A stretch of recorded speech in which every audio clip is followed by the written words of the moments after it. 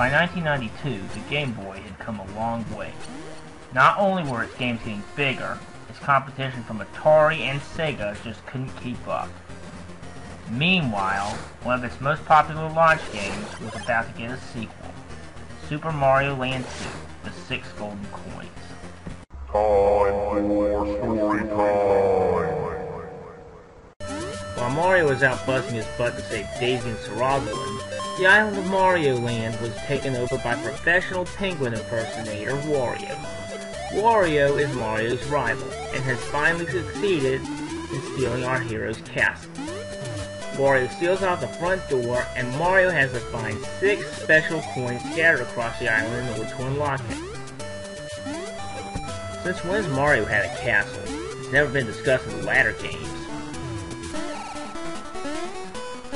Graphics have been given an immense overhaul. The sprites are much bigger than in SML1, adding to the player's ability to see what's going on.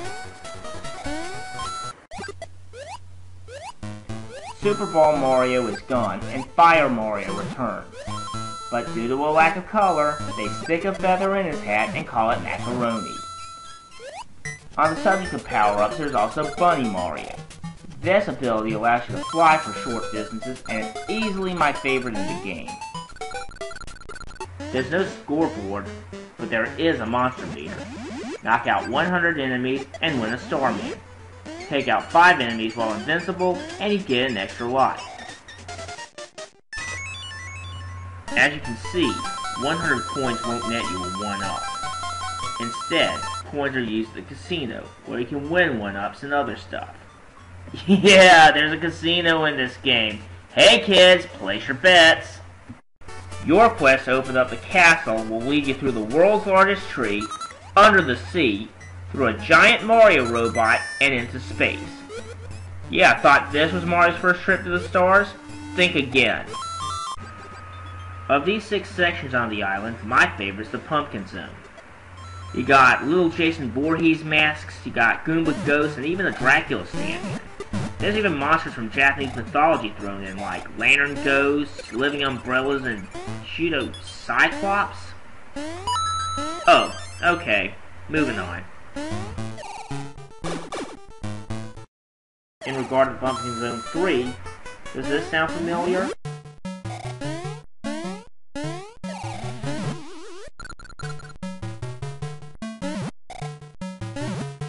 No? Then try this opera side.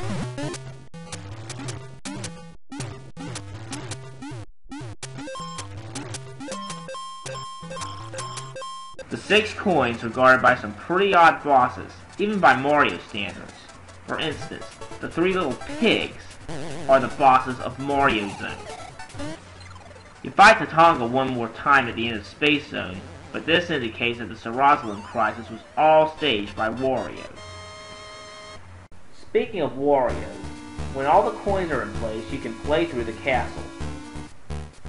And it's easily the toughest stage in the game, with all its swinging balls, its giant discs, its spike traps, its lava, and its Wario globes. Of course, you could switch over to the easy mode to beat it, but where's the fun in that? Besides, every time you go into a level, you'll be penalized with this screen to remind you that you can handle this game on default. For the sake of your honor, just play on normal. In the fight with Wario, he cycles through the game's power-ups. The mushroom, the carrot, and the fire flower in that order. He shrinks from the damage, cries, and then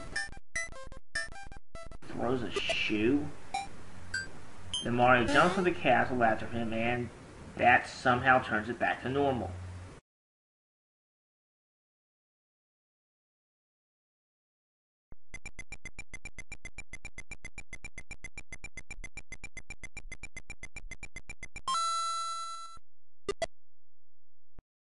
Wario did get the last laugh though.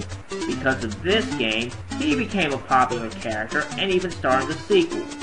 Wario Land, Super Mario Land 3.